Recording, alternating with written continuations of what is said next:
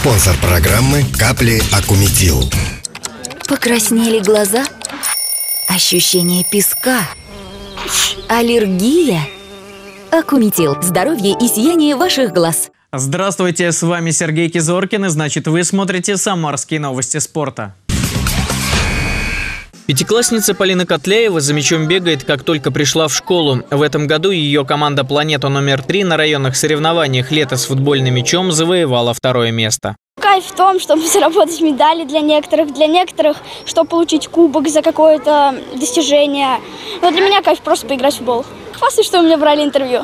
Александр Царев футбол играет целый год в школьной команде. Любит погонять мяч и с друзьями во дворе. В каждом матче забивает по одному-два мяча, как его кумир, аргентинец Лионель Месси, нападающий испанской Барселоны. Александр хочет быть похожим на него во всем.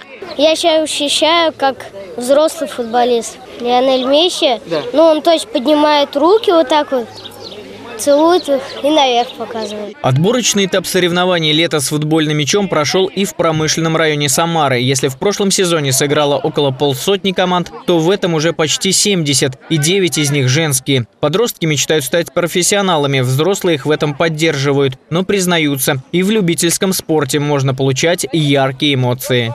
Мне было 16 лет, золотую медаль вручали, э, тоже участвовал в турнире «Золотая шайба» в Дворце спорта такое. Я помню этот день и э, храню эту медаль. Лето с футбольным мячом из дворового турнира по принципу «бей-беги» постепенно превращается в любительские команды, имеют постоянный состав, с футболистами работают профессиональные тренеры. Лет с футбольным мячом подарит нам новые звездочки, и лет через 5-8 мы будем видеть в сборной России игроков, которые будут биться за победу, будут выигрывать и будут именно истинные мастера.